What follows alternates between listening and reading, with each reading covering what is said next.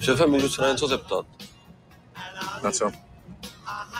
Jak jsem nakládal ty bedny s těma kuřatama, se mi tam zdálo něco divný.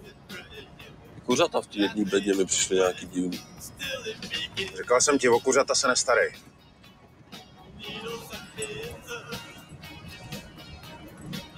No, ale že ty kuřata mají nějaký divný zobáky. Říkám ti, o kuřata se nestarej. A žádný orly si neviděl. Jaký orly, já jsem o žádných orlech nic neřekl. Nečum na mě, nebo ti useknu ruku.